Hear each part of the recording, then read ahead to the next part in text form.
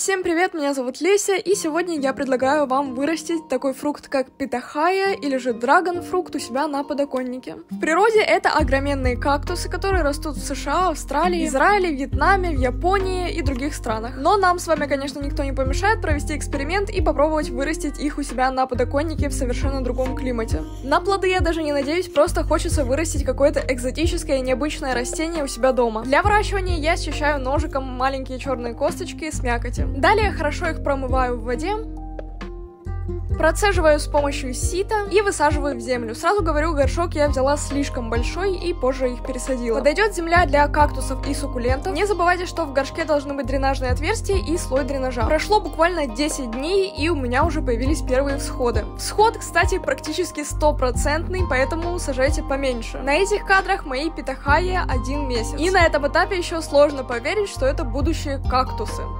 Чуть позже ростки мне нужно было немного проредить, чтобы они не мешали друг другу расти. Из ухода и условий содержания нужен яркий свет, ставьте на самый яркий подоконник. Перед поливом давайте верхнему слою земли хорошо высохнуть, не забывайте, что это все-таки кактусы. А на этих кадрах вы можете заметить самые первые иголочки. Здесь кактусятам уже два месяца, на этих кадрах два с половиной месяца, здесь уже пять, а тут семь. На данный момент моей питахай где-то полтора года, и пора бы ее пересадить, потому что земля в ужасном состоянии.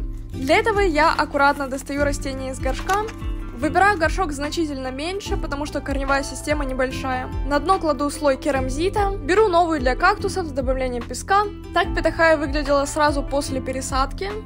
И с того момента прошел еще месяц. Я также переставила ее на другое место. Раньше она стояла у меня под лампами, там ей явно не хватало света, но сейчас на подоконнике гораздо лучше. Еще больше контента о растениях у меня в инстаграме и в тиктоке. А вам спасибо за просмотр. Если понравилось это видео, не забудьте поставить лайк и подписаться.